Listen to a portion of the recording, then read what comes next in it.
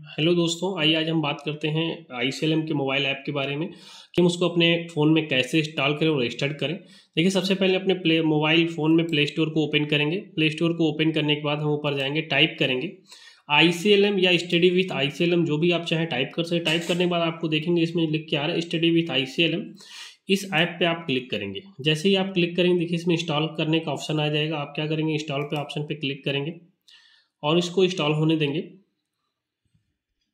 देखिए अभी आप, आप आपका ऐप इंस्टॉल हो चुका है और ये देखिए ओपन होने का ऑप्शन आ गया इसको हम ओपन करेंगे।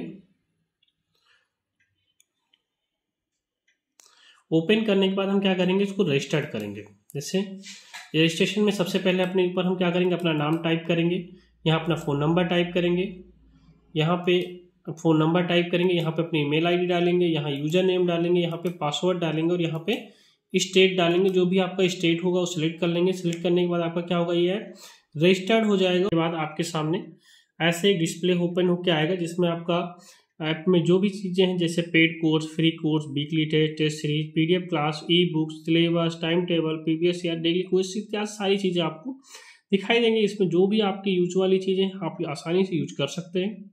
धन्यवाद। अगर ये ऐप आपको अच्छा लगा हो तो अपने दोस्तों के साथ में भी शेयर करें। इसमें भी बहुत सारी चीज़ें नहीं पड़ी हैं बस दो चार दिन में आपके लिए triple C classes O level classes भी इत्यादि इस ऐप के माध्यम से आपको आसानी से बहुत ही कम पैसे में और बहुत सारे फ्री कोर्सेज भी आपको प्रोवाइड किए जाएँगे। धन्यवाद।